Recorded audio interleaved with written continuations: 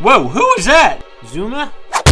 Whoa, Zuma just Zuma just killed Chase with the knife. What is going on? This is not like any other Paw Patrol that I've ever seen. Stay away from the Paw Patrol guys. They're vicious and they attack with knives.